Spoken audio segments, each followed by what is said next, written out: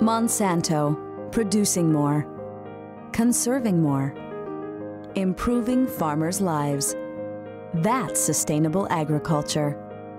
More at producemoreconservemore.com. Could bread be the death of the sandwich? Sandwiches are not only a popular lunch option, but they serve our on the go lifestyle. And according to the Technomic 2012 Sandwich Consumer Trend Report, sandwich sales are up 4.8% since the year 2010. That amounts to $27.7 billion a year. Now, 49% of sandwiches bought in restaurants or other food service sites are up from 44% in 2010, according to Ad Age. Nielsen data shows dollar sales for breads and baked goods during the past three 12 month periods have been on the rise, with the final period ending May 2013 when it reached $23.4 billion.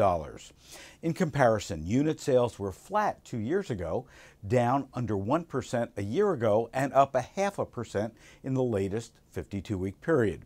So, back to my original question could bread be the death of the sandwich? Well, we believe the answer could be yes. That's right. Sandwich breads need to change, or they could potentially kill the immense popularity of the sandwich. There's one simple reason behind our view. Bread is the single biggest hidden source of sodium in our American diet.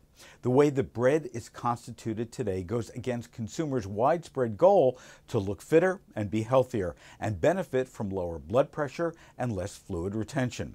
Now, the bread industry is completely capable of reformulating with spices instead of salt or whole wheat wraps instead of rye to enhance flavor, to create favorable mouthfeel and preserve the bread product until it's eaten do this, and bread makers could earn a lot of credit and sales. Until then, however, we feel that they're perpetuating older, unhealthy methods that needlessly pump America full of sodium.